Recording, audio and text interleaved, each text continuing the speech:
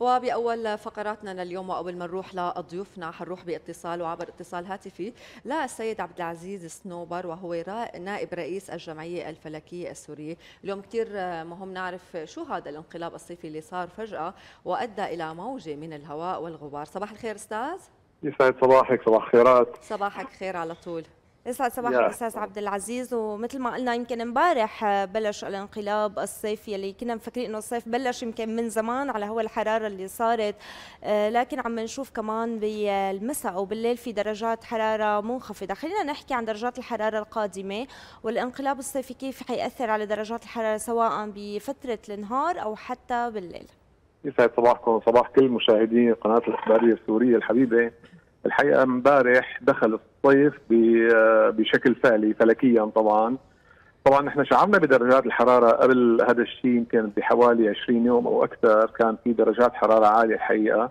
ولكن فلكيا ورسميا يدخل فصل الصيف في 21 حزيران ودخل فعليا امبارح الساعة 9 و13 دقيقة صباحا فصل الصيف.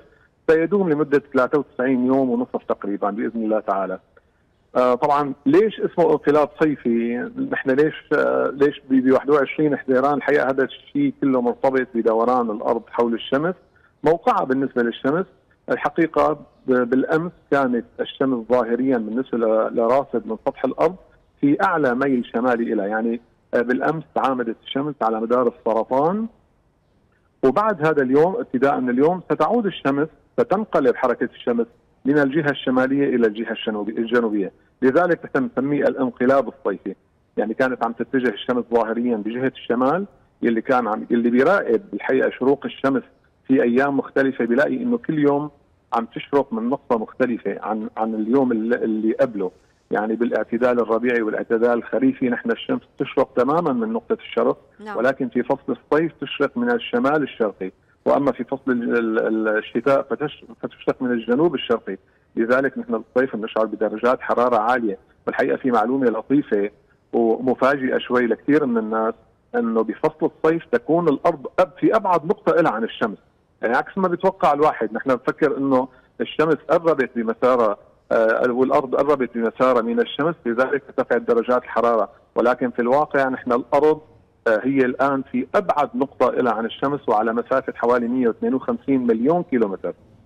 وأما في الشتاء فتكون الأرض قريبة من الشمس بعكس ما هو متوقع. طيب بما أنه الأرض بعيدة عن الشمس، ليش درجات الحرارة عالية؟ شو اللي عم يصير؟ آه في الحقيقة إنه الشمس بتيجي هلأ بفصل الصيف عمودية على القسم الشمالي من الكرة الأرضية، لذلك هي الأشعة العمودية بتعطي تسخين عالي. آه ساعات النهار مثل ما نحن هلأ بنعرف عدد أكبر من عدد ساعات الليل، إذا ساعات التسخين أكبر من عدد ساعات التبريد، ساعات اللي بتكتسب فيها الأرض درجة حرارة من الشمس هي أكثر من عدد ساعات اللي بتفقد فيها هي درجة الحراره، لذلك دائما نحن فصل الصيف هو فصل التسخين. وبالأمس فعليا دخل مثل ما حكينا الانقلاب الصيفي وسيدوم ل 22 أيلول بإذن الله تعالى. نعم أستاذ عبد العزيز صنوبر بدنا نشكرك لكل المعلومات وكل شيء سمعناه من حضرتك وتمرق هي الفترة بخير وسلامة. شكرا لتواجدك معنا عبر اتصال هاتفي ويسعد صباحك. شكرا يسعد صباحكم. يا